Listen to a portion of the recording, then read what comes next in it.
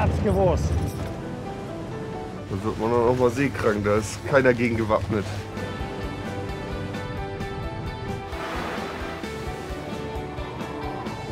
Und noch den schönsten Job der Welt.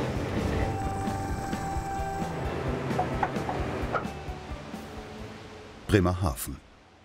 Wachwechsel auf dem Lotsenstationsschiff Weser 2. Ralf Weiß übernimmt heute die Brücke für die nächsten 14 Tage.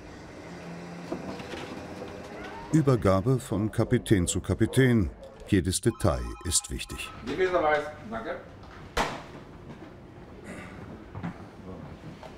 Krankentrage, da war ein Fuß gebrochen. Ja. Äh, der ist neu gekommen, wieder angebaut. Somit ist die. Krankentrage wieder erledigt. Wie sieht das mit Bunker aus? Wie viel kriegen wir da? Und Bunker ist heute ein bisschen mehr. das Problem ist einfach, dass wir jetzt die ersten Bögen kriegen, die jetzt hier über Windstärke 6 bis 7 und schon in 8 reingehen. Und äh, da ist es natürlich schwierig, bei auflandigem Wind hier mit dem Schiff von der Pier wegzukommen. Und äh, dann müssen wir uns eventuell dann noch von draußen Hilfe holen, damit wir nachher überhaupt hier vom Liegeplatz wegkommen. Alles los! Eigentlich fahren die Steuerleute das Schiff, doch wegen des heftigen Windes übernimmt der Kapitän das Ablegen heute selbst. Danke. Mit 4800 PS schafft es Ralf Weiß ohne fremde Hilfe. Kurs Nordsee.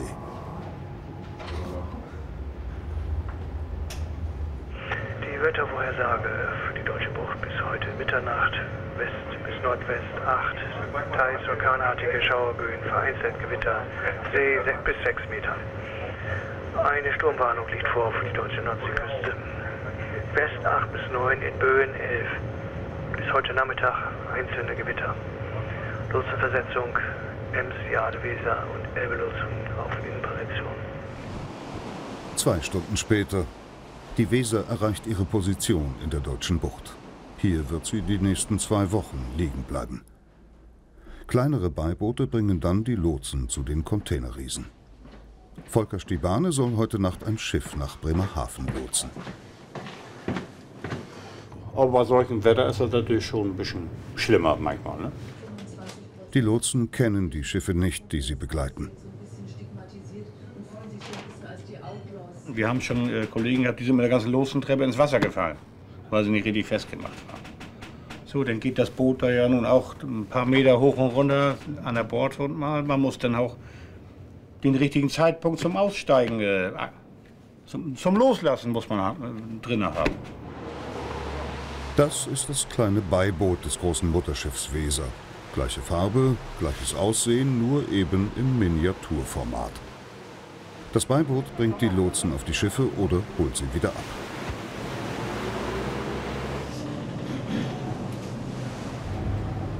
Volker Stibane ist seit 14 Jahren Weserlotse. Na gut, die haben ja nicht diese Revierkenntnisse äh, und wir, ich los das Schiff jetzt nach Bremerhaven. Also wir kennen das, den Fluss hier halt das Revier und deswegen geleiten wir die hoch. Ich arbeite bis 70. Wenn ich gesund bin, arbeite ich bis 70, klar. Und noch den schönsten Job der Welt. So, nun muss ich raus. Tschüss, schöne Reise. Alles klar, ne? Ja. Tschüss. Ein anstrengender Job. Deshalb ist mit 65 von Gesetz wegen eigentlich Schluss. Also ich muss natürlich darauf aufpassen, ähm, dass ich die, die, die, die Geschwindigkeit anpasse von dem äh, anderen Schiff, wo wir ranfahren. Und äh, natürlich darauf aufpassen, dass man da keinen Schaden fährt und zumindest auch den Lotsen ordentlich von der Leiter runterreißt beim Wegfahren mal. Ne? Das ist natürlich Nonplusultra, ne? Kann ich so übersteigen. Jeder wie er es verdient.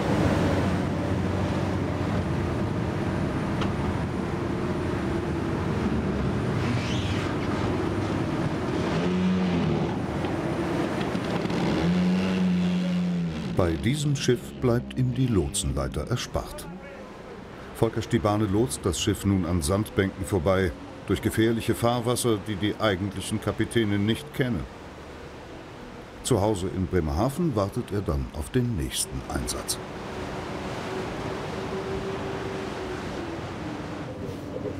Gerrit Retzke von Stollentin ist Kapitän auf dem Beiboot. Noch ist der Sturm kein Orkan, aber in den letzten Tagen setzte ihm der Wind bei der Versetzung heftig zu. Abbrechen, also kam öfter schon mal vor. Dann haben wir nochmal andere Kurse fahren lassen oder andere Geschwindigkeiten gefahren. Aber letztendlich äh, haben wir bis jetzt jede Lotsung oder was wir machen sollen auch äh, erfüllen können.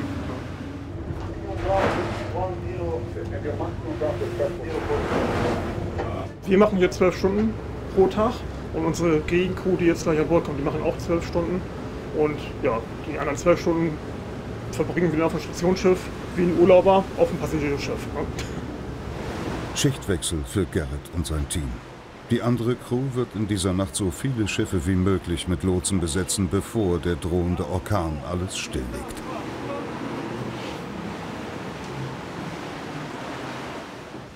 Handys funktionieren hier auf dem Mutterschiff. Das ist wichtig für die Familien an Land. Man hat ja immer Kontakt mit dem Telefon und äh, das geht dann vertraut eigentlich ganz gut drauf, dass sie einen guten Job machen halt und ist bis jetzt auch immer alles gut gegangen. Ne? Oben auf der Brücke koordinieren Steuermann und Kapitän die Schiffe. Ja, das ist praktisch unsere Rede hier. Das sind die Schiffe, die jetzt zurzeit äh, entweder Wilhelmshaven oder Bremerhaven oder weiter aufwärts Richtung äh, ja, Brake, Elsfleth, Bremen äh, keine Liegeplätze haben und die liegen dann hier vor Anker und warten so lange, bis wir die dann dementsprechend abrufen und dann mit Lotsen besetzen. Alles klar, also Fleisch rein. Fleisch rein. Chefkoch Bernd Meyer ist sowas wie die gute Seele an Bord der Weser. Also wir lassen nichts umkommen.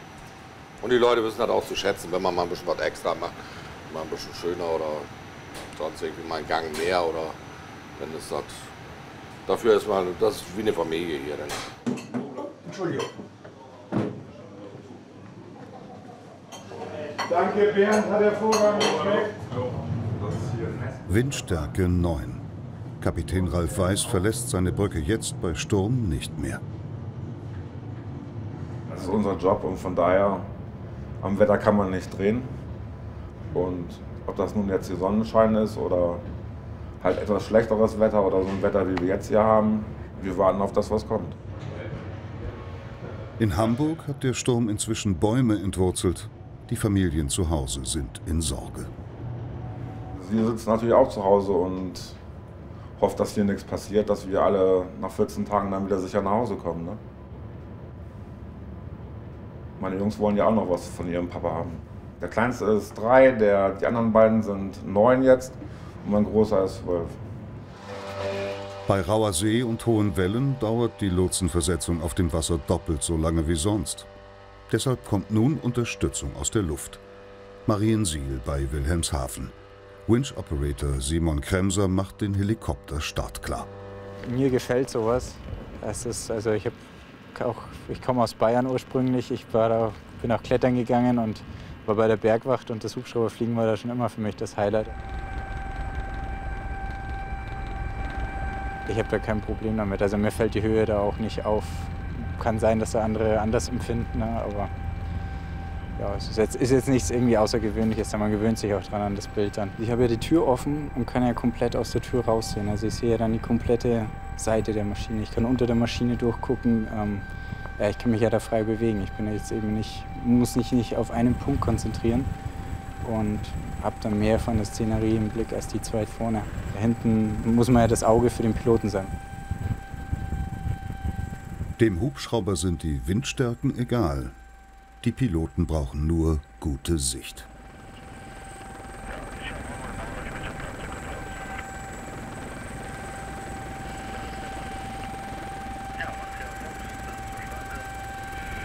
Ich vertraue dem Piloten ja auch, dass er mich da in der Nacht und Sturm von sicher auf die Nordsee bringt und wieder zurück. Und genauso vertraut er mir, dass ich ihn da auch richtig einspreche an, an dem Schiff. Eine kurze Verschnaufpause. Mehr ist heute für den Lotsen nicht drin. Der Helikopter fliegt ihn gleich zum nächsten Einsatz.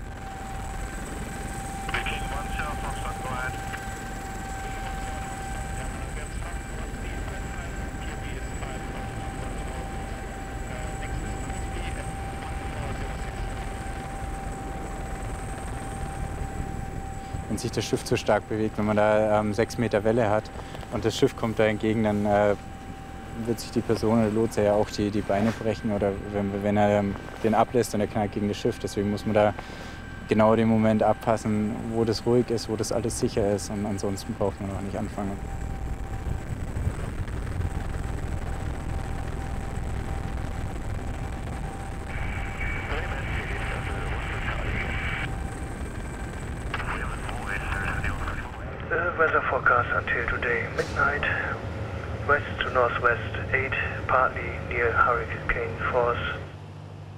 Nächsten Morgen. Die Sturmwarnung gilt auch für Kapitän Stefan Meyer auf Borkum. Er legt mit seiner Fähre los. Sechs Mechaniker müssen zu dringenden Wartungsarbeiten auf die Windräder vor der Küste. Sie erzeugen Energie für 120.000 Haushalte an Land. Doch wenn der Sturm weiter zunimmt, wird das mit der Wartung heute nichts. Katamaran hat natürlich als Schiff den Vorteil, dass er eine relativ große Arbeitsfläche bietet, weil er ja natürlich im Endeffekt aus zwei Rümpfen besteht und da drüber ist Deck. Wir haben also sehr viel Oberdeck. Wir sind ja fast quadratisch. Ein Schiff ist ja sonst relativ schmal und lang und vorne spitz. Und wir sind im Endeffekt quadratisch und haben dadurch einfach mehr Platz, mehr Raum. Die Windforce 2 wurde extra als Fähre für den Windpark Borkum Rivkat gebaut. Sie bringt Monteure und Techniker zu den Windrädern und holt sie wieder ab. Bei ruhiger See dauert der Turn 40 Minuten. Heute braucht das Schiff gegen die Wellen fast doppelt so lange. Und der Wind nimmt immer mehr zu. Wir drehen gleich an, das Schiff kommt wieder zur See, dann wird es ein wenig mehr rollen. Rollen ist eine elegante Umschreibung für heftiges Schaukeln. Passiert immer mal wieder, ne? Wenn die Welle viel zu hoch ist, dann wird man dann auch mal seekrank. Da ist keiner gegen gewappnet. Eine Wellenhöhe von fast zwei Metern. Unangenehm, aber nicht ungewöhnlich.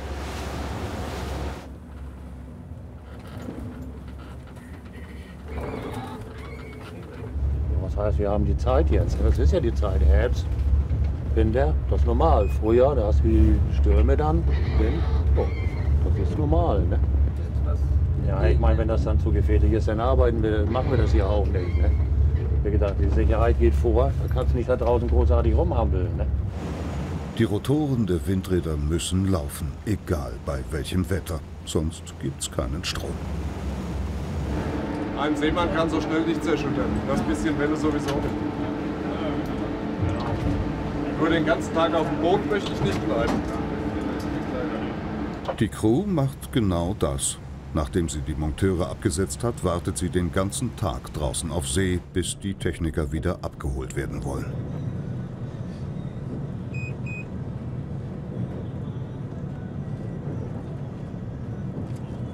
Ja, also wenn wir jetzt 24 Leute an Bord haben, voll besetzt sind, das sind sagen wir mal sechs bis sieben Teams, dann kann das schon mal anderthalb Stunden dauern, bis wir alle Leute mit Gepäck auf verschiedenen Mühlen äh, ausgesetzt haben oder abgesetzt haben. Das Problem ist ja auch, es, ist ja, es sind ja die sieben Mühlen liegen ja vielleicht auch nicht alle nebeneinander in einer Reihe, sondern je nach Arbeitsauftrag und ähm, Reparaturstau beispielsweise oder Problem sind die natürlich quer im ganzen Windpark verteilt und dann kann es natürlich schon manchmal dauern. Die Monteure müssen heute auf zwei Windräder. Ohne Wartung besteht die Gefahr, dass sie sich automatisch abstellen. Am ersten entscheidet Kapitän Meyer, ob er die Techniker überhaupt absetzen kann. Sind die Wellen zu hoch, wird das heute nichts. Dann wird auch an der anderen Windmühle kein Monteur abgesetzt. Ich fühle das Schiff, wie das Schiff sich bewegt und ich gucke mir die Wellen an, von welcher Richtung sie kommen, wo der Wind herkommt, wie der Strom ist. Es gibt leider kein Messinstrument, das mir das genau anzeigt. Das ist also jetzt ein bisschen Gefühlssache und Feinfühligkeit und, und dann im richtigen Moment anzudrücken, damit das Schiff sicher und stationär bleibt. Zunächst muss er die Festmacherleine finden. Mann abgerissen. Da hat sich jetzt auch gerade die Leine verabschiedet. Dann kommen wir mal bitte weg. Ich muss die gleich in der Schraube. Wir müssen aber schön Wetter erstmal wieder rausfischen. Die treibt da unten jetzt rum die Leine. Also das Problem ist, wir sind jetzt im Grenzbereich bei 2 Meter Seegang. Und äh, ich denke, das ist zu gefährlich, weil das, der Wetterbericht sagt, dass es heute Nachmittag auch noch mehr werden soll. Und der Wetterbericht stimmt jetzt schon nicht mit der Realität überein. Und insofern möchte ich es nicht verantworten, beziehungsweise halte ich es für zu gefährlich, da jetzt hochzugehen. Control Center Windforce 2.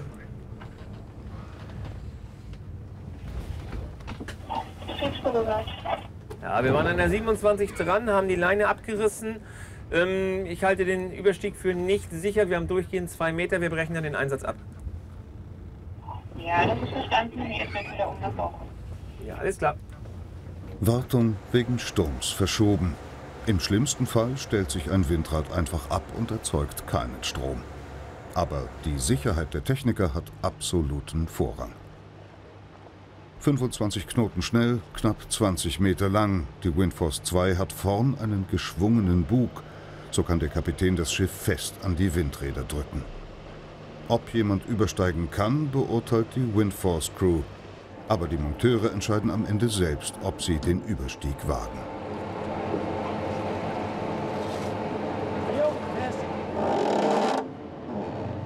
Das war zu grenzwertig. Also das war, ist einfach nicht sicher dann. Ne? Man muss ja auch noch immer wieder runterkommen können. ne? Das ist das Problem. Feierabend hat hier trotz schlechtem Wetter keiner. Gearbeitet wird auch an Land. Wenn man wiederkommt von See und schlecht Wetter hatte, muss man den Dampfer immer erstmal mit Frischwasser abspülen. Ne? Das zersetzt alles, oder wie? Das zersetzt alles, genau richtig. Die Monteure reparieren nun Teile von Windrädern in der Werkstatt im Hafen und hoffen, dass der nächste Einsatz morgen klappt. Unten in den Kufen des Katamarans ist es unerträglich laut. Heute lässt Chief Ingenieur Michael Gachels die Maschine im Hafen weiterlaufen. Er nutzt die Gelegenheit für die Wartung.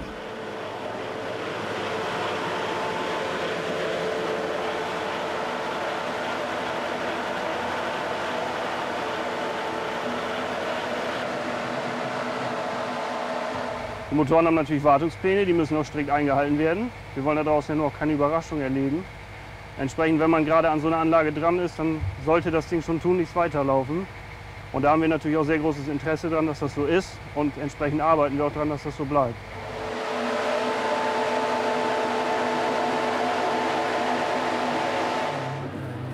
Am nächsten Morgen ein neuer Versuch. Heimfahrt. Ach so. Die Zeit. Genau, aber erst unterschreiben, wenn ihr wieder rein wollt, ne? Die Wellenhöhe ist bei Sturm entscheidend, nicht der Wind.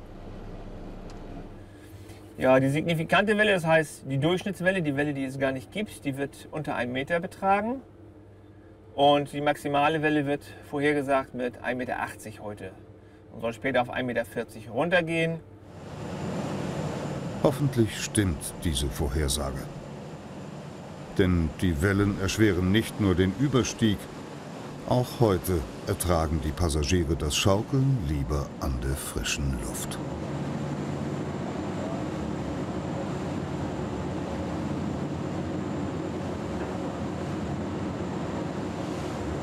Sonne ist eigentlich für uns ist zwar nice to have, es ist schön, wenn die Sonne scheint. Dann kann man auch im Sommer mal sozusagen ein bisschen Sonne tanken. Aber für uns sind eigentlich viel wichtigere Faktoren sind die Wellenhöhe und die sind natürlich abhängig vom Wind und auch von der Tide. Im Endeffekt ist es, äh, kann es bei Regenwetter schön sein, da hat man nur einen halben Meter Welle, dann ist es gemütlicher. Und bei Sonnenschein hat man plötzlich drei Meter Welle. Das ist also, steht nicht in direktem Zusammenhang. Guten Morgen, noch 10 Minuten. 10 Minuten. Wir fangen an mit der Romeo 9 und fahren dann zur Romeo 8 weiter. Erste Mühle Romeo 9, danach Romeo 8. Für das Sicherheitsgeschirr ist jeder Techniker selbst verantwortlich. Heute sind es neun Monteure, die auf zwei Windräder versetzt werden sollen, um die verschobene Wartung nachzuholen.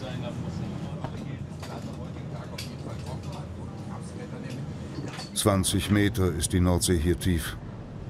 Matrose Volker Möller achtet auf die Strömung, die das Schiff im letzten Moment wegtreiben könnte.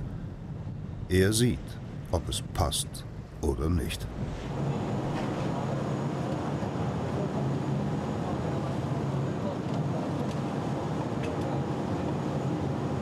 Sieht aber nicht gut aus, wa? Mit über 2000 PS gegen die Nordseewellen.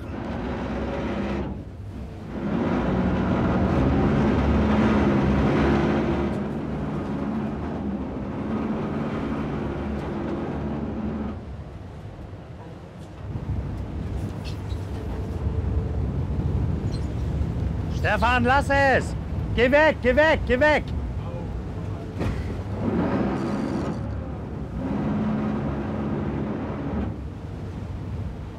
Sieht nicht gut aus. Der zweite Versuch.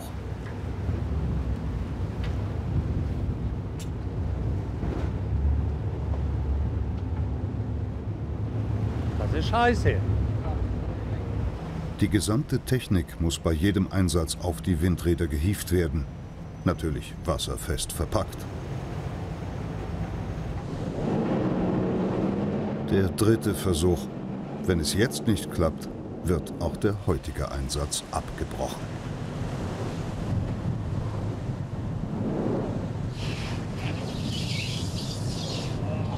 Wie gesagt, Sicherheit wird hier sehr groß geschrieben, dass die eben vernünftig übersteigen können. Ich warte, ich gucke mir das ja auch an, ich stehe ja da vorne, pick mich ja ein und sehe, wie das Schiff sich auch bewegt. Und wenn ich dann sage, die können gehen, dann können die gehen. Vorher geht da keiner. Über 40 Meter klettern die Techniker hoch. Dann haben sie die Plattform erreicht, auf der die Tür zum Windrad ist. Innen geht's dann per Fahrstuhl weiter zum Kopf der Mühle mit ihrem Rotor in 90 Metern Höhe.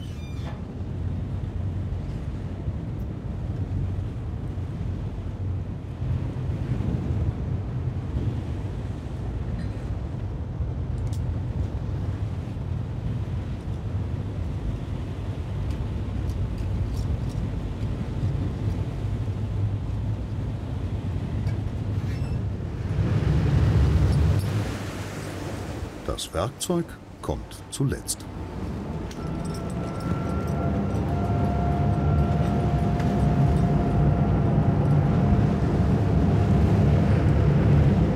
Ich hab's gewusst. Scheiße.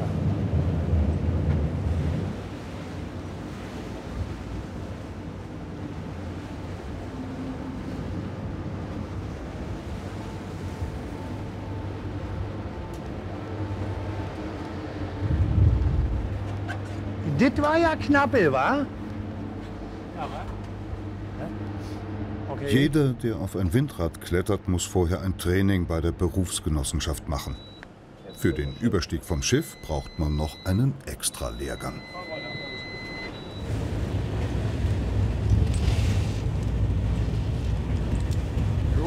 Schönen Tag noch.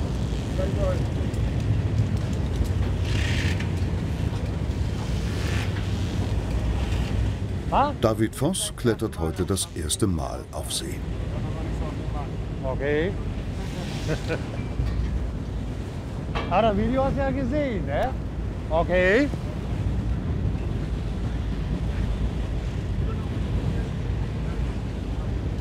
So, mach auf dein Karabiner. Da packe ich dich jetzt ein. Ja. So, okay. So, alles gut. Und, und ab geht die Luzi. Viel Spaß da oben. Auch beim zweiten Windrad klappt's. Die Techniker können nun mit der dringenden Wartung anfangen. Die Windräder müssen rund um die Uhr laufen, bei jedem Wetter.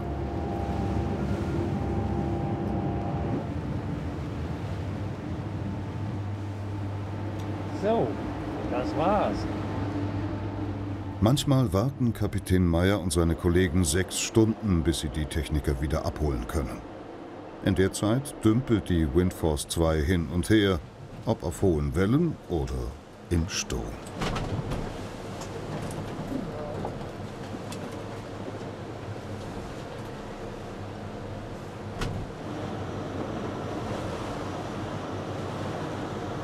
Gerade wenn wir jetzt einen Anker schmeißen würden und da ist jetzt passiert beispielsweise was auf der Mühle, auf der Windkraftanlage, oder die brauchen mal ein Ersatzteil oder wollen schnell von einer Mühle auf die andere Mühle transportiert werden, dann würden wir viel zu viel Zeit verlieren, wenn wir erst einen Anker hieven müssten, um dann wieder hinzufahren. Insofern bei schönem Wetter lassen wir uns treiben und bei schlechtem Wetter müssen wir dann eben ein bisschen durch die Gegend stampfen. Das Kochen übernimmt Matrose Möller.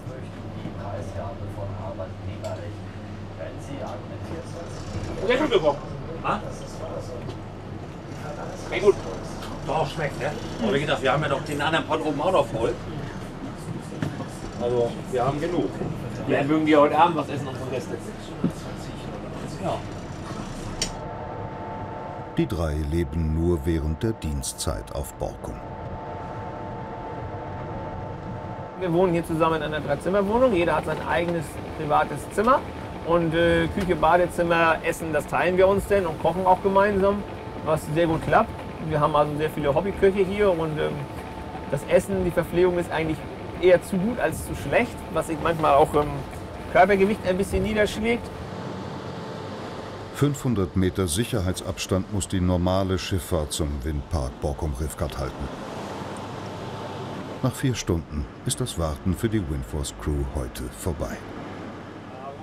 Per Funk bleiben die Mechaniker auf den Windrädern mit der Windforce 2 in Kontakt.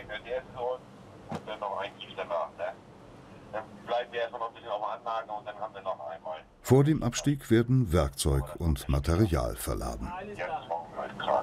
Alles klar, jetzt zweimal Kran, das Deltenbrul hängt da schon. Ich dachte, es wäre ein Sack. Alles klar, zweimal. Ja, alles klar, wir kommen. Es ist natürlich so, dass ein gewisses Risiko immer besteht beim Ladungsumschlag, weil wir uns ja auch bewegen und eine, eine schwere Last am Kran hängt. Aber den Umständen entsprechend ist jetzt der beste Zeitpunkt dafür, weil wir eben Stauwasser haben und die Welle auch in diesem Moment relativ gering ist. Kapitän Meyer kann die Windforce 2 aus jeder Ecke steuern. So kann er das Schiff auf Sicht Zentimeter genau buxieren.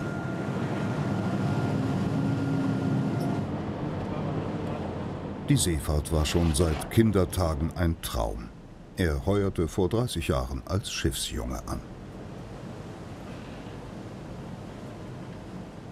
Mit 16 angefangen auf dem Kymo, natürlich die Schule, andere Sachen immer mal wieder unterbrochen, aber jetzt mit 45 sozusagen immer noch auf dem Schiff und inzwischen auf einem gemütlichen Stuhl.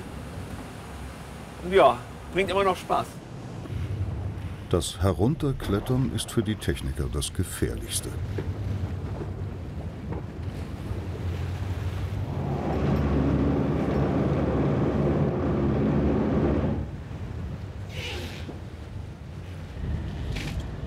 Dabei brauchen die Monteure die Hilfe des Matrosen Möller.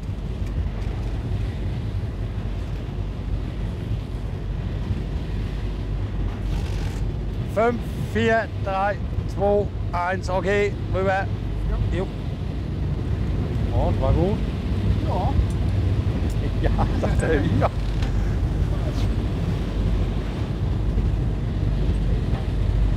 Ja, ich war heute das erste Mal da oben. Ja, das war gut. Auf jeden Fall, ähm, muss man Respekt haben vor der Geschichte, auch vor dem Überstieg.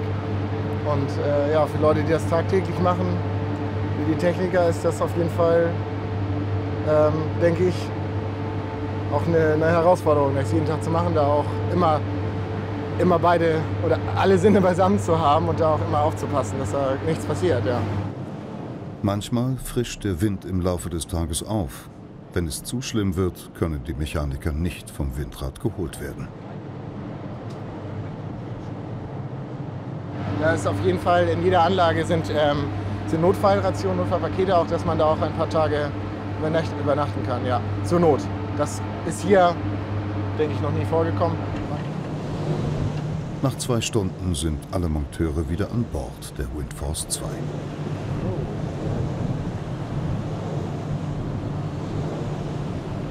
Fährkapitän ist der Traumjob für Stefan Meyer, vor allem die familienfreundliche Arbeitszeit.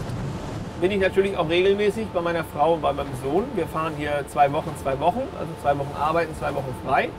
Und auf dem Containerschiff bin ich schon immer vier Monate unterwegs gewesen. Und das ist natürlich für die Familie viel, viel praktischer.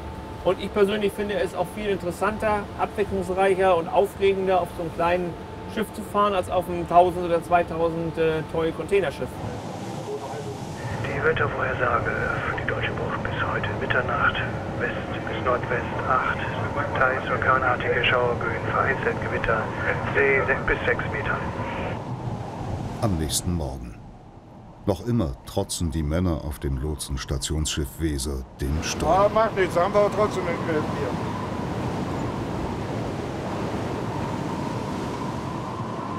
Einmal am Tag bunkert das Beiboot Schiffsdiesel das große Mutterschiff ist hier draußen auch die Tankstelle.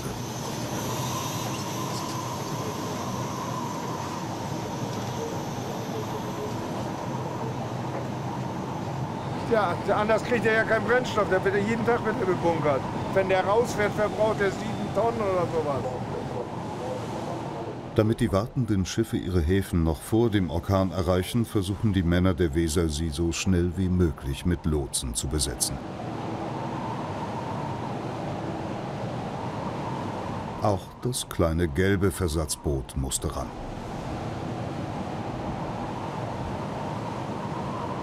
Sein letzter Einsatz für heute. Die Orkanböen sind inzwischen zu gefährlich.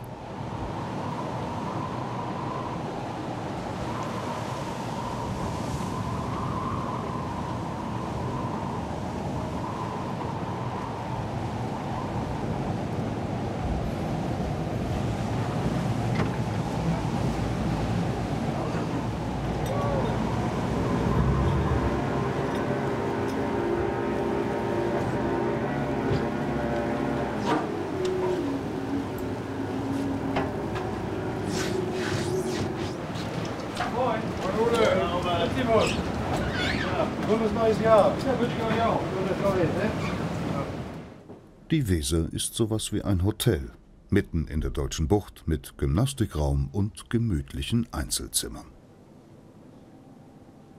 Auch Volker Stibane ist jetzt wieder an Bord. Er hat ein Schiff aus Bremerhaven auf die Nordsee gebracht und kann sich hier vor seinem nächsten Einsatz ungestört ausruhen.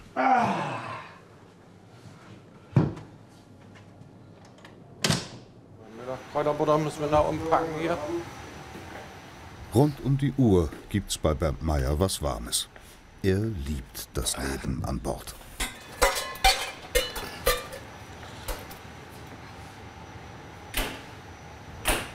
Ich war auch schon mal selbstständig und äh, dies war eigentlich nur mal so für ein paar Reisen und dann sagen, ach mach mal nochmal und nochmal und nochmal. Und jetzt bin ich 16 Jahre hier. Das, ist, äh,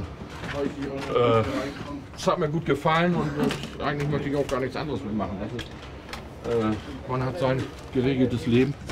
Man ist 14 Tage weg, man ist 14 Tage wieder hier.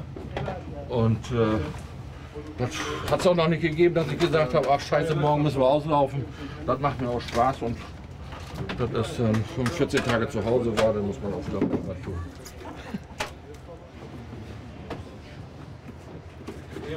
Also hier haben wir auch noch Tiefgeraumt. Wo dann hat man meistens Sachen, so was wir 14 Tage brauchen. Fleisch, Gemüse, frisch und Eis und halt Gemüse. Das Hier gibt's alles, was das Seemannsherz begehrt. Die Weser Crew arbeitet in drei Schichten rund um die Uhr. Irgendjemand hat immer Hunger.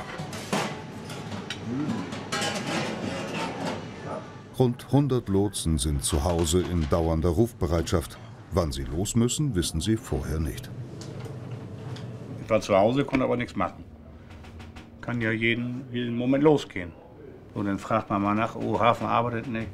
Im Endeffekt war es dann heute Morgen um sechs oder um vier, wo ich einen Anruf kriegte. Oh, dann geistert man so durch die Gegend da. Ne?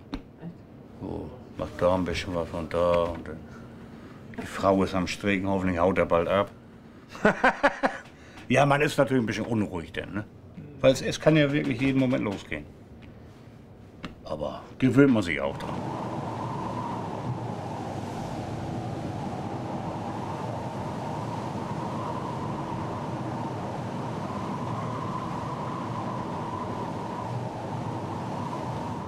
Der Steuermann auf der Brücke fährt nicht nur das Lotsenstationsschiff, er besetzt auch die wartenden Schiffe mit Lotsen. Denn jetzt kriegt nachher Herr Diebig nachher Delitino.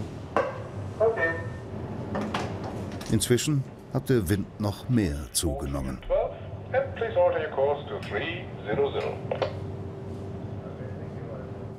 Ja, Die geben ständig Warnungen, orkanartige Böen und Orkansturm. Ne? Orkan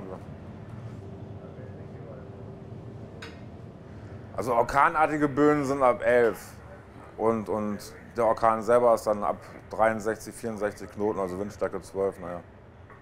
Also im Moment hatte ich eben geguckt im Internet, da sind roundabout 4 Meter See, jetzt äh, da, wo wir normalerweise auf der Außenposition sind. Das wird aber jetzt im Laufe der nächsten drei, vier Stunden mit Sicherheit dann noch um etliche Dezimeter höher werden, als es jetzt im Moment ist. Wir machen so lange, wie es geht, machen wir das. Solange das für uns sicher ist und auch für den Lotsen. Ja, moin moin, die Weser Schluckner. Ich habe mal eine Bitte. Können Sie mal die Glorious Lieder mal Bescheid sagen? Die treibt da oben auf der Tiefwasserrede. Da ist der Lotse schon drauf. Die hat 22 Uhr Rede Order. Jawohl. Alles klar, ich bin da gewesen, ne? Schöne Wache, tschüss. Der Kapitän und sein Steuermann gehen wegen des Sturms auf Nummer sicher und parken das Mutterschiff hinter einer Sandbank. Man fängt natürlich an, äh, das Schiff erstmal selber zu schützen. Die Besatzung muss sich halt dementsprechend darauf vorbereiten, dass man halt Schlechtwetter hat. Äh, ja, man muss jetzt hier in unserem Job halt abwarten, was passiert mit der See, wie sieht das nachher aus, wenn die Schiffe kommen. Kann ich die nachher noch besetzen oder äh, ist das nachher zu gefährlich, das Boot nachher auszusetzen? Kriege ich das dann überhaupt wieder hoch? Das sind nachher so natürlich so die Fragen, die wir uns dann hier stellen müssen. und wie sicher ist das halt für meine Besatzung und für den Lotsen, der dann halt versetzt werden soll. Ne? Was haben wir jetzt für eine Tide? Was haben wir Hochwasser? 15 Uhr, oder? Ja. Der Hafen arbeitet ja quasi auch nur bis zu einer gewissen Windstärke. Also ich jetzt rechne nachher, wenn dann sich jetzt erstmal Orkan kommt, dann, dass der Hafen auch dicht gemacht wird.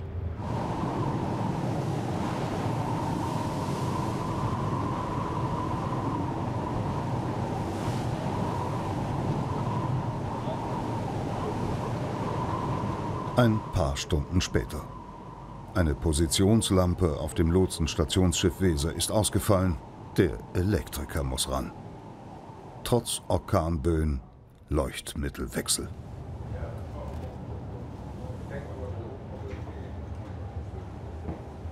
Nö, das sind wir gewohnt. Das kommt öfters mal vor. Gerade bei Schlechtwetter gehen die Leuchtmittel oben kaputt. Da bauen sich im Mast leichte Schwingungen auf und das fällt dann auf den Leuchtmitteln. Schwimmweste und Sicherheitsgeschirr zum Anschnallen, ohne das geht keiner vor die Tür. So. Markus, immer sagen, hier auf dem Elektriker.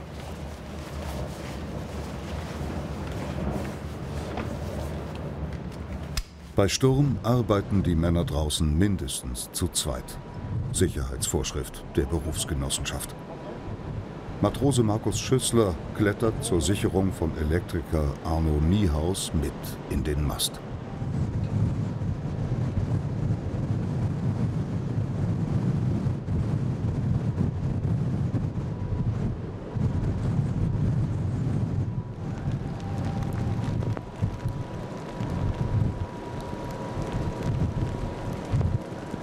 Die Männer sind schutzlos dem Wind ausgesetzt.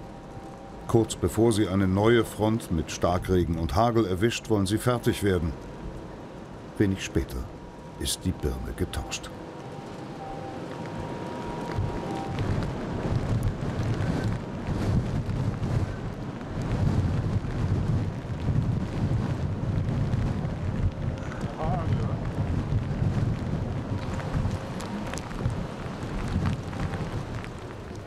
Etwas weiter nördlich in Cuxhaven ist Kymo-Captain Horst Brei im Stress. 1,80, 2 Meter hoch. Kann den ganzen Kram, wir fangen vorne an, stellt den ganzen Schied nach vorne hin, ne? Er beliefert mit seinem Kymo die Insel Helgoland. Doch heute hängt er hinter seinem Zeitplan in Cuxhaven fest. Ein Teil der Ladung wurde zu spät geliefert.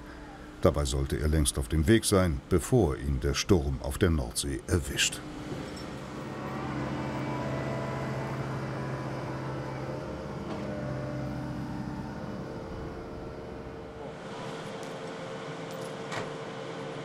Böen meldet er bis 9 heute. Bloß, die können 21 Uhr kommen, die können auch erst Mitternacht kommen. Die können auch 18 Uhr schon kommen. Helgoland ist von der Proviantlieferung abhängig. Das schon, aber die werden ja so viel haben, was sie einen Tag den Eierglock auch so fertig kriegen, ohne was wir jetzt da den Rum rüberbringen oder so. ne? Also das, nee, also ich schätze mal so für drei, vier, fünf Tage haben die auch in Reserve da, wenn nicht sogar noch mehr. Ausgerechnet heute ist Ehefrau Jutta dabei. Die beiden wollen auf Helgoland ein Jubiläum begehen. Vor 17 Jahren feierten sie dort ihre Silberhochzeit. Der Captain will jetzt los. Seit fast 50 Jahren schippert er Europas Küsten entlang. Früher mit einem eigenen Kömo. Jetzt steuert er die MS Helgoland für eine Reederei, zweimal in der Woche zur Insel und zurück.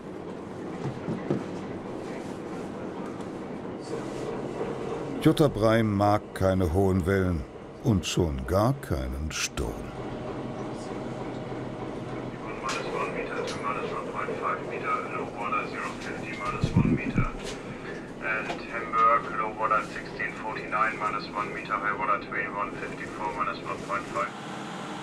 Gegen 17 Uhr geht's endlich raus auf die Nordsee. Jo, schönen guten Tag, die Helgoland in Kürzhausen Vorhafen. Einmal nach Helgoland, sieben Personen und 2,50 Meter und 50 Tiefgang. Und hinterm grünen Zaun, das erste Stück. Jo, danke, gute Woche. Rund fünf Stunden dauert eine Strecke.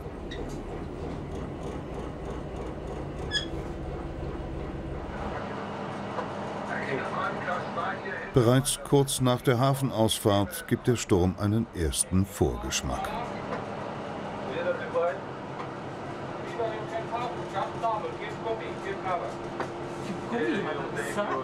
Nee, das ist nicht mehr meine Sache. Da habe ich Probleme jetzt mit. Also früher hat mir das nichts ausgemacht, aber je weniger man zuletzt konstant an Bord war, je mehr hat sich das eingeschlichen mit der Seekrankheit. Aber wenn du Schokolade isst, glaube ich, dann kannst du das auch nicht ab, wenn das mal so richtig kachelt. So war das doch früher, ne? Äh, Wenn richtig scheiß Wetter ist und wackelt, dann ist er mit Schokolade nicht das Gelbe von Ei. Ne? Und du hattest das mit Schokolade und ich hatte das, wenn du mal gesagt hast, muss mal eben eine Maschine oder dies und das war, hat geschaukelt und der warme Dunst, dieses Ölige, wenn dann bei uns in der Maschine. Oh, das war noch. Eine halbe Stunde später fegt der Wind übers Meer.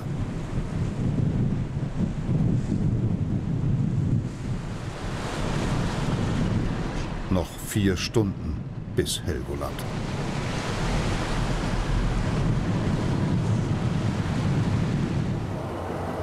Jutta zieht sich nach unten in die Kombüse zurück. Leichte Kost bei schwerer See für ihren Mann. Früher auf dem eigenen Kymo musste sie die ganze Crew bei solchem Wetter bekochen. Ich kann mich daran erinnern, dass alles gut geklappt hat. Ich kann mich auch daran, äh, daran erinnern, dass ein Suppentopf durch die Küche geflogen ist und äh, auch an die Zeiten, dass ich äh, gependelt bin zwischen Herd und äh, Bullauge und Tür und Messe und äh, Flur und Sofa im Salon ne, mit Schürze und bewaffnet Augenblick dann rausgeflitzt hingelegt und dann wieder in die Küche und weitergemacht. Hat auch funktioniert. Hat alles nur ein bisschen länger gedauert. Ne? Mittlerweile hat die MS Helgoland Neuwerk und die Elbmündung passiert. Auf der Nordsee kachelt es mit acht Windstärken, in Böen zehn. Aber der alte Seebär weiß sich zu helfen. So, wir gehen jetzt heute Abend, laufen wir hier in den Vorhafen und dann gehen wir zum Südhafen und gehen an die Westkai hier dann. Weil wir, wie gesagt, mit diesem Wind und diese Wasserstände kommen wir hier nicht zum Binnenhafen, weil wir hier den Wasser, hier ist der Wasserstand nicht so. Und hier liegt so ein verfluchter Felsen nicht hier runter. Auch für einen erfahrenen Kapitän wie Horst Brein nicht alltäglich. Und noch sind sie nicht da. Das wird noch mehr, ja. Das wird noch mehr. Jetzt nicht extrem, aber das wird noch mehr. Wie ich schon sagte, die so scheiß Ströme, die da laufen, da hast du denn doch recht was, nicht recht was mehr, aber es wird unkontrollierter, nachher auch vor der Einfahrt da. Denn, ne? Ja, ein bisschen muss ja auch dabei sein, sonst bringt das ja auch nichts. Dann könnte man nachher am Schreibtisch sitzen und einen Bleistift anspitzen oder irgendwie was. Solche Berufe gibt es ja auch. Nicht? Also, aber das wird nun gar nichts. Also, das kann es ganz vergessen werden. Nach fünf Stunden Schaukelei ist der sichere Südhafen Helgolands in Sicht. Wellen und Strömung machen das Anlegen heute zu einer echten Herausforderung. Die Matrosen Toto und Billy hatten während der Überfahrt Ruhepause. Jetzt wird jede Hand an Deck gebraucht.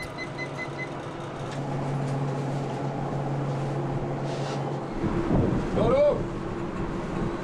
Zwei!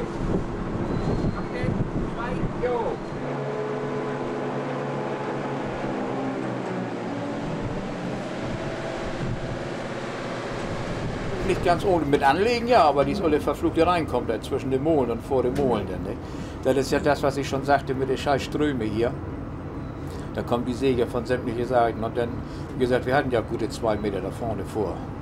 Die liefen ja so, ja, die liefen ja reell, wie wir es quer über die Luken rüber bei uns. Der Auto da ja richtig gegen. Und dann ist das schon, viel mehr hätte nicht sein dürfen, wollen wir so sagen.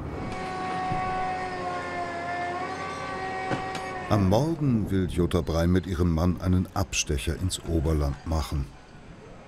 Noch einmal wie vor 17 Jahren. Irgendjemand will da was. Hier, ich hab noch. Das ist keiner. Hm? Ist Billy? Glaube ich. Was rechnest wann du denn? denn? Wann können wir denn da sein?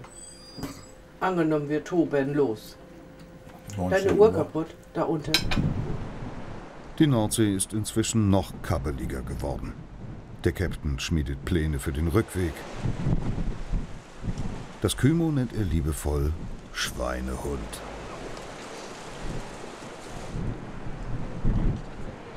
Jetzt von vorne, da kannst du das besser handeln, als wenn du die See von Achtern hast. Nicht? Wenn du die See von Achtern hast, dann macht der Schweinehund ja das, was er will. Dann dreht er immer hin und her. Und wenn du ihn jetzt von vorne hast, dann kannst du ihn eigentlich auf Kurs halten und dann ist das Problem nicht so groß. Bloß du musst genug Fahrt drauf haben, damit du nicht auf die Mole rauftreibst nachher. Ne? Aber wackeln wird schon, ne? Wenn gegen an- wackeln wir das schon? Ja, ein bisschen. Ein bisschen, ne? Ein bisschen wackeln wir das schon. Vielleicht sollte Jutta Brei einfach zurückfliegen. Eine Stunde hast du jetzt ja noch Zeit. Du kannst ja noch wählen, was du willst. Also fliegen muss, ich muss auch nicht die Welt bereisen mit dem Flieger. Also das ist nicht mein Ding. So ich, der der so nach oben geht. hm. Dann lass uns mal lieber mit den kleinen Blauen nach Hause fahren. Ja. Wenn, Und ich vertraue dir, dass wir ankommen. Die sind ja, Ja, immer irgendwo kommen angekommen. wir ja immer hin. Irgendwo kommen wir ja immer hin. Obwohl du ja nicht immer ganz ehrlich bist, was die Windstärke Nee, den Blödsinn hat er uns aber auch nicht erzählt gestern mit den Neuen. Und kommt ihr zwischen den Tagen nochmal wieder, oder? Äh, wie kommt noch wer? Manni kommt. Ach so, ja. Ich gehe jetzt in Urlaub. Ich komme am 8. Welle. Ja, Das ist immer gut. Ja. Aber äh, wir gucken bloß durch Fenster kicken, wie sägst wie das ist. Und Und dann, dann, wie wir für ein Schied wir habt hier. Ne? Ja, du. Gut. Nee, wir haben hier ab. Ja. Und dann wünsche ich was. ne? Sag wie aus 16. Alles klar, du. Tschüss. Okay, tschüss. Nach zwei Stunden auf der Insel ist die Ladung gelöscht. Alle sind wieder an Bord. Leinen los, Kurs Cuxhaven.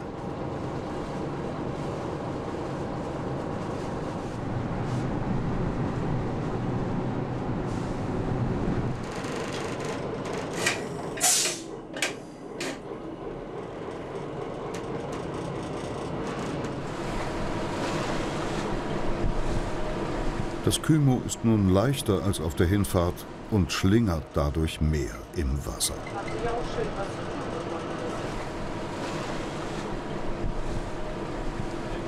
Aber Captain Brei ist in seinem Element, egal wie hoch die Wellen oder wie heftig der Sturm. Du bist ja immer noch ja, dein eigener Herr, hätte ich bald gesagt, ob es eigenes Schiff ist oder nicht das eigene Schiff ist. Und nee, also ohne dem. Und man hat die Freiheit, trotzdem immer noch. Ne? Nee. Wieso? Du hast nee. das Wasser unter den Füßen. Das ist das Wichtigste Ja, bei das, dir. Das nicht bloß unter den Füßen, das ist einfach das Schiff, wo man ja, sagen, ja, das geht aber das ich ja auch meine, das ist für dich das Wichtigste, das Wasser. Vom Wasser kann er nicht genug kriegen. Als Captain bei der Arbeit und am liebsten auch bald als Passagier. So eine Norwegen-Tour hätte ich gesagt, damit mit dem Postdampfer. Das wäre es nochmal. Und dann werden wir irgendwie auch mal sehen, was wir das noch auf die Reihe kriegen. Also das Jahr. Die ganze Route da mal hoch und wieder runter. Das, das wäre Das noch ist mal ein Wunsch was. von uns, den Ja. liegen wir schon länger, ne? Und irgendwie werden wir den wohl auch noch auf die Reihe kriegen. Das schon, nicht? das wär's. Das wäre das. Ich hegte mal den Wunschtraum, um zu sagen, wollen wir nicht mal mit dem Wohnmobil. Oh, da hatte ich aber Oh, was jo. gesagt. Also so eine Sardinendose hat er zu mir gesagt. Das kommt überhaupt nicht in Frage. Wenn du das möchtest, nimm deine Gören, hat er gesagt, Jo. und den Hund und fahr damit los. Nee, das ist das, das. Ein Seemann braucht Platz. Fünf Stunden später legt Captain Brei seinen Schweinehund in Cuxhaven an. Er hat Feierabend. Rund um die Uhr geht es auf dem Lotsen-Stationsschiff weiter. Ein Lotse hat ein Containerschiff von Bremerhaven in die deutsche Bucht gebracht und möchte nun abgeholt werden. Das Versatzboot ist die letzte Möglichkeit für den Lotsen, von Bord zu kommen. Gerrit Retzke von Stollentin und seine Kollegen geben Gas, sonst muss der Lotse bis England mitfahren. Plötzlich ein Problem. Eine Flosse zur Steuerung des Beiboots fällt aus. Gerrit Retzke von Stollentin braucht dringend ein kleines Ersatzteil. Wenn wir die Flosse nicht in Gang kriegen sollten, ähm, dann brauchen wir nicht rausfahren. Das hat gar keinen Sinn. Also wir brauchen diese Flosse zum Stabilisieren und ansonsten wird das zu gefährlich dann. Ohne die Flosse wird das Beiboot nicht rechtzeitig bei dem Lotsen sein. Warten können sie nicht. Eine Verspätung bringt den ganzen Plan für die Lotsenversetzung durcheinander und kommt nicht in Frage.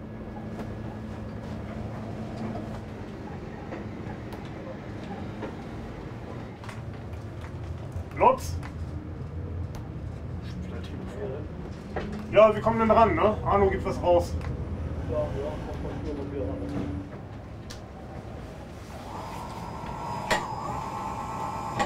Jetzt haben wir nur noch eine Seite zur Verfügung, aber den Wind und Strom äh, versetzt uns ganz gewaltig. Wir müssen ein bisschen gucken, dass ich die Nase immer in den Wind halte, um ja, nicht so dort zu verdriften, weil wir haben überall Tonnen hier rumliegen, die wichtig sind, aber auch ganz schön nerven manchmal auch, ne? weil die immer enger werden und immer enger kommen dann. Ne? Tonnen sind Bojen, die die Wasserstraßen markieren.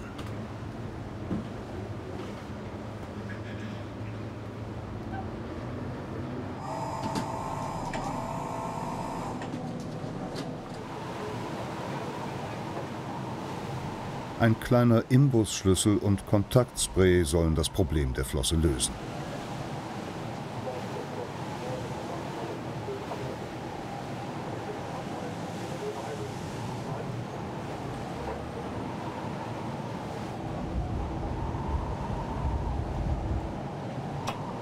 Ein Schiffsmechaniker versucht jetzt, die Flosse zu reparieren.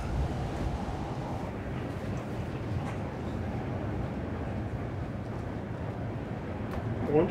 Flossen sind ein. Ja, tut sich nichts dann.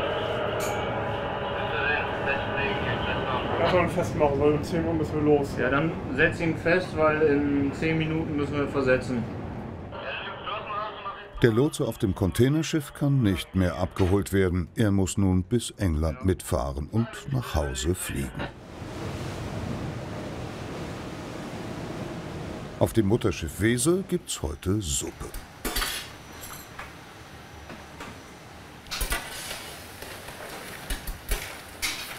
Da haben wir dann den Fang von gestern, vom Fisch. Gestern gab es ja Fisch, den Skrei. Da haben wir den Fang von genommen und dann schöne Suppe.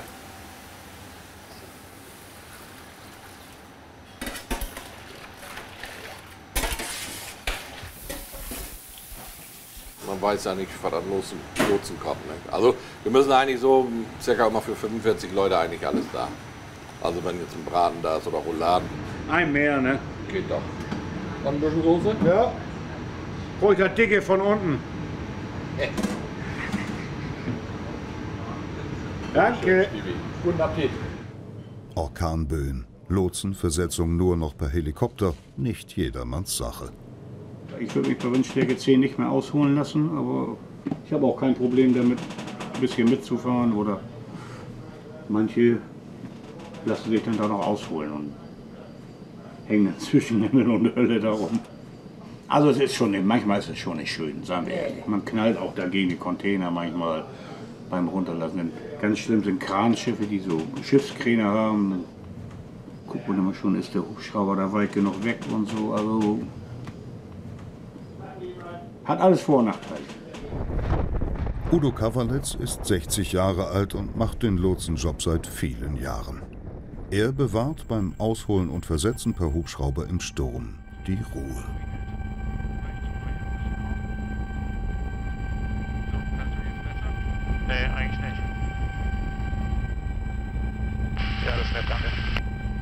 Ja, One Sierra Fox, das ist verstanden. Drei plus. Sonst hätte ich Hutmacher oder Gärtner werden müssen, wenn mir das was ausmachen würde.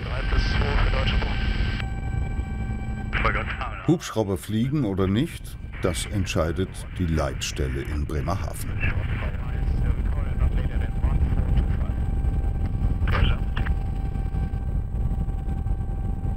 Das weiß ich immer erst, wenn ich den Anruf kriege, dass ich mit dem Hubschrauber fliegen muss. Das weiß ich immer erst, äh, in dem Moment, wo das Telefon klingelt. Der 60-Jährige ist froh, dass es nicht in Strömen regnet. Das macht das Abseilen anstrengend.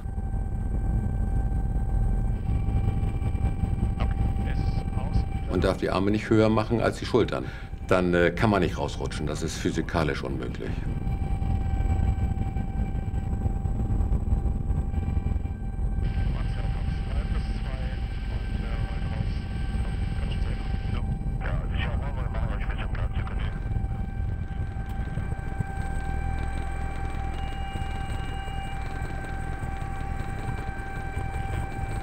Wir müssen nur gleich Gas geben, sobald ich an Bord bin, weil, ich, äh, weil das aufgrund seines Tiefgangs eine bestimmte Passierzeit Bremerhaven hat.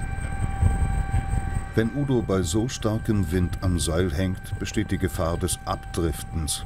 Dann kann es passieren, dass er gegen Container oder Aufbauten auf dem Schiff geschleudert wird. Da muss man ein bisschen aufpassen. Aber das ist mir erst ein oder zweimal passiert in 26 Jahren und äh, deswegen mache ich mir da keine Gedanken drüber. Es ist schon ziemlich ruppig zum Teil. Ja, man muss vorher darauf achten, dass der Wind eben nicht zu stark ist, dass der jetzt nicht irgendwo sich die Schlinge beim Ablassen schon verhängt oder der Lotse irgendwo gegen, gegen ein Hindernis kommt. Also da muss, man kann während dem Windenmanöver ähm, ja, sind die Möglichkeiten beschränkt. Deswegen man muss schon vorher genau abschätzen können, ob man das Manöver jetzt sicher durchführen kann oder nicht, bevor man da überhaupt einen Menschen dranhängt oder überhaupt das Seil ausfällt. In Bremerhaven kann wegen des Sturms niemand mehr arbeiten.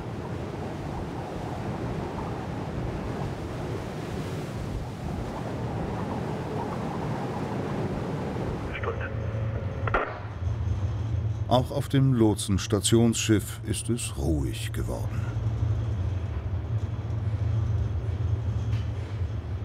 Im Moment ist relativ wenig zu tun, weil kein Schiffsverkehr ist.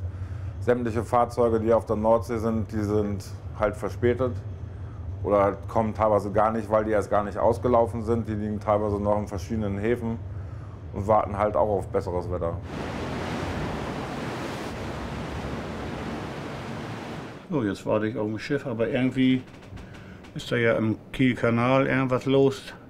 Kommen nicht so viele Schiffe im Moment. Aber Heute Abend kriege ich schon eins. Zum Tatort bin ich zu Hause.